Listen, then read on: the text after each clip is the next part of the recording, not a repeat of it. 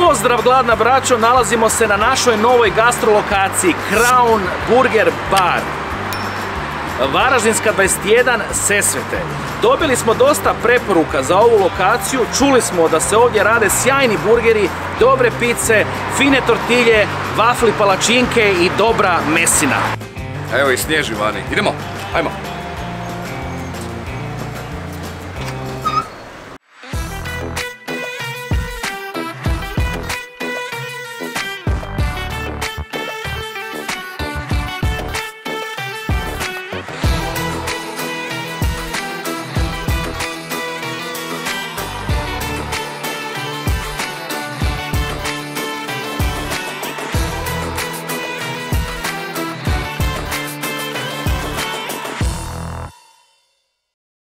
Evo nas dakle unutra u Crown baru, e, u Sesvetama, ušli smo unutra, ekipa nas e, je dočekala nasmijana, nabrijana, znači genijalna ekipa, moramo pohvaliti ekipu koja radi u e, Crown baru i nemaju loše fore kao što kaže ovoga jedan od konobara. Imamo jednu ljepoticu ovdje, ovako lijepo serviranu na ovoj drvenoj, jel, tacni. Pogledajte ovo. Ja se naravno nisam mogu čekat, ja sam šturnuo komadić tijesta, tijesto je dobro i ovo izgleda običavajuće jako. Dakle, kulen, e, ispod šunka, naravno standard, sve izgleda i na kraju krajeva miriši jako dobro i ono što mi se posebno sviđa, e, što odaje onako mali dašak profesionalnosti, jel? Kad dođete onda dobijete ovakvu futrolicu lijepo sa beštekom, to mi je totalno cool. To mi je totalno cool, ajmo probat. Ispred nas se nalazi još jedna E, delicija ovdje iz Crown bara. Radi se o tortilji e, koja se zove Sulejman veličanstveni. Vjerojatno po uzoru na onu foru nisam Sulejman, ali mi je veličanstveni. Da vidimo. Da, jako lijepo odvojeno.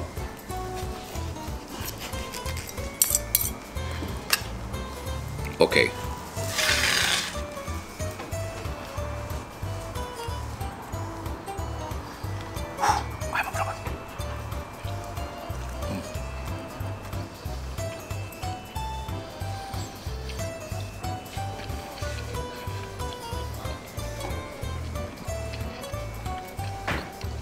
Pokušavam imat poker face.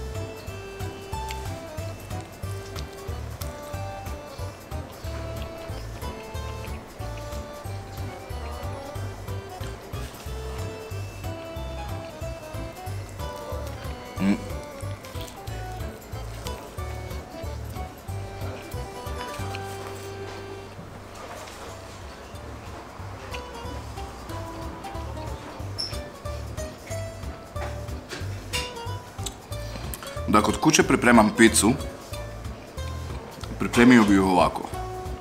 Dakle, jako mi se sviđa kombinacija svega, e, tijesto je lijepo pečeno, tijesto kao najvažnije, na pici mora biti dobro, ovdje je super tijesto, lijepo je pečeno, dakle sastojci su gore dobri, mm, lijepo je sve iskombinirano, estetski čak mi pizza izgleda jako lijepo. Mm, kao mali nisam volio je stvari koje mi nisu jel, vizualno bile privlačne. Ću samo još jedan komadić i to ovaj sa ajvarom. Da probamo.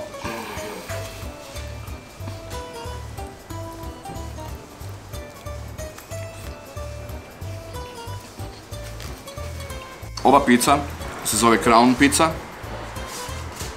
Generalno sve njihove pice su tu negdje između 40 i 55 kuna, jel?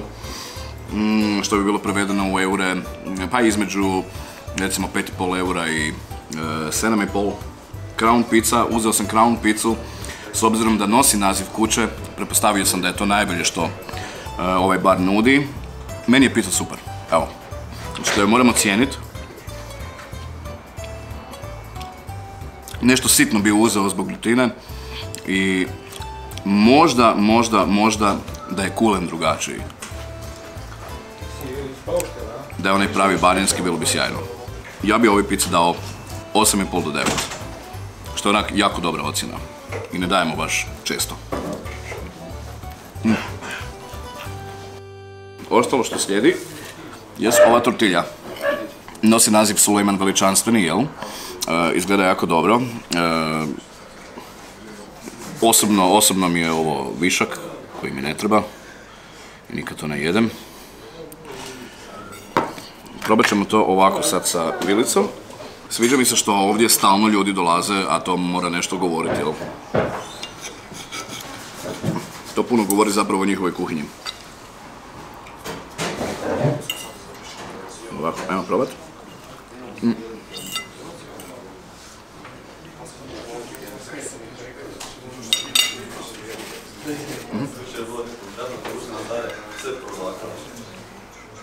Sulejman unutra sadrži marinirani ramstek sa žara. Vrlo vjerojatno najvažniji sastojak je tortilje ove. Morat ću još malo uzeti.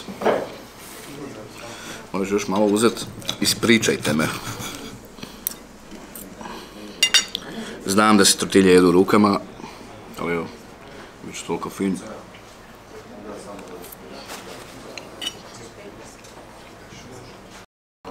Dakle, fino meso, fini nadjev, jel? Ovoga mi je definitivno previše, jel, na tanjuru, ali to je, pretpostavljam, i dijelom i, radi dekoracije, jel, ovdje. Mm, 53 kune je cijena e, ove tortilje, što je bilo provedeno, jel, koliko, koliko bi to bilo, 7 eura.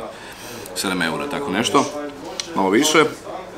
Mislim da vrijedi, mislim da se isplati, jer e, za tih 53 kune dobivate veliku porciju tortilje, veliku tortilju i dobivate naravno ramstek, meso, jel? A znamo svi da je, što je ramstek, jel, zapravo na kraju krajeva. Ovdje imamo njihov glavni proizvod, to je burger Aleksandar Veliki ili Aleksandar Makedonski. Evo, presjek burgera ovako izgleda, znači unutra 100% junetina, njihova pljeskavica, domaće meso, umak od e, kajmaka i ajvara pikantni, pečena paprika, panceta i još neki vjerovatno začin unutra i brioš pecivo. Ovdje je drugo njihovo jelo, to je pikantni domaći batak, otkošteni, malo salatice, gore barbeki umaka, lepinja i ovo mi izgleda kao urnebes. Ali to ćemo probati. Mm.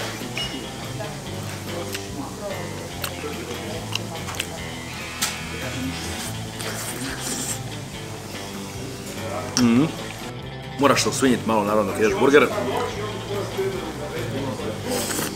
Mm.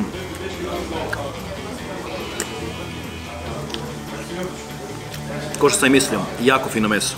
Jako fino meso, taman salate, ali pogodak mi je ovaj kajmak i ajvar, malo pikantni, onako da ljutka u ustima. Mm. Znači sve se vidi. Jasan presjek, fini umak, pikantno, pečena paprika, panceta, tamo je malo hrska, onako ko čips, meso, salate, ničeg previše. Da vidite kako to izgleda. Pa ću to malo rezati. Znači vidite, vidite koliko je to mekano. Znači fino, fino spečeno. Mm. Da. Hoćeš? Neće. Idemo probati urnebes. Da.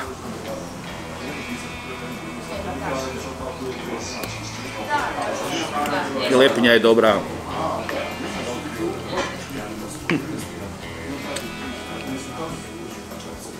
Uh. Piletina razvaljuje. Znači, burger mi je bio jako fin. Ali ovo mi je toliko dobro ispečeno, toliko mi je sočno, fino marinirano, ti začini, malo mediteranski začini su na toj piletini. Ovo gore malo samo to neko barbeki umaka, znači ništa previše. Lepinja ova fina, onak, fino balansirano. I nevjerovatno, ono, ukusno, puno ono, sokova tih od mesa. Mm. Inače, od ova dva jela, jedno i drugo su 45 kuna, znači to je 6 eura. Tebi vjerojatno horza ovdje malo još, gore ljutog umaka. Iako ono je malo pikantno, ima tog papra unutra, znaš, ali moglo bi se još zaljutiti. Mm.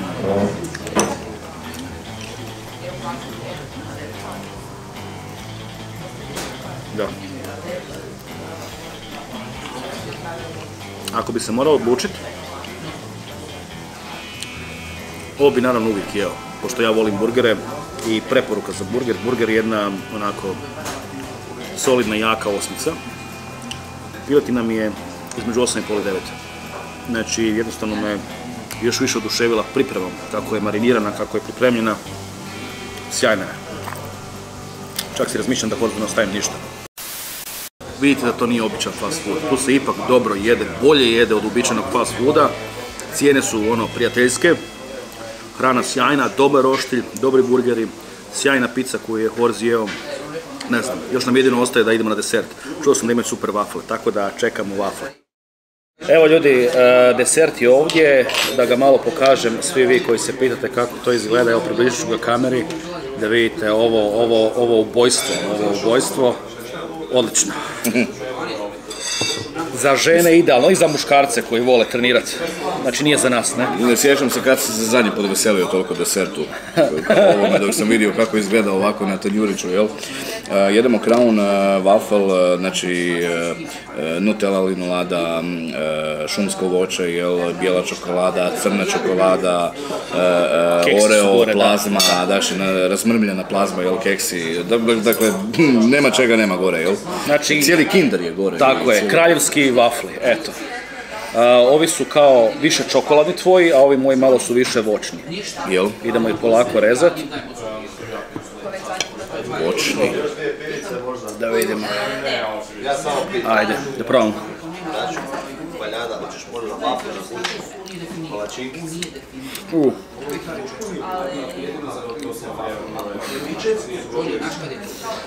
Znate ona riječ kad kažete, odnosno pojam kalorijska bomba.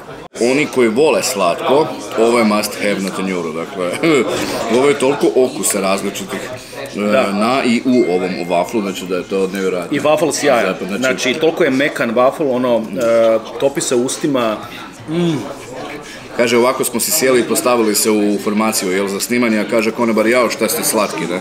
da, Rekao, ovoga, s obzirom šta ćemo jest, ne?